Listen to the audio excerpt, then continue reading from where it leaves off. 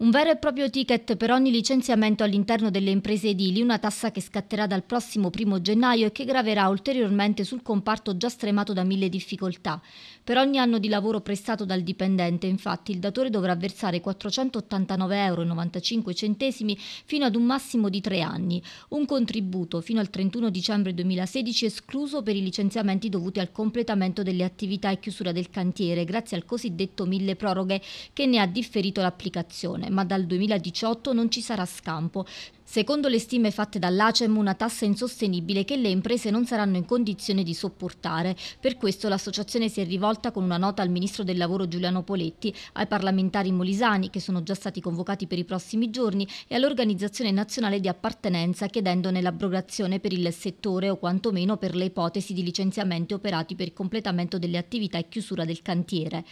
Questa tassa non tiene conto della peculiarità dell'edilizia in cui i rapporti di lavoro sono più frammentari per via del fine cantiere, spiega il presidente dell'ACEM Corrado Di Niro. Comunque occorre che il governo comprenda che non si può continuare ad addossare tutto a carico delle imprese, altrimenti molte di esse saranno costrette a chiudere in quanto non avranno più le risorse minime per andare avanti.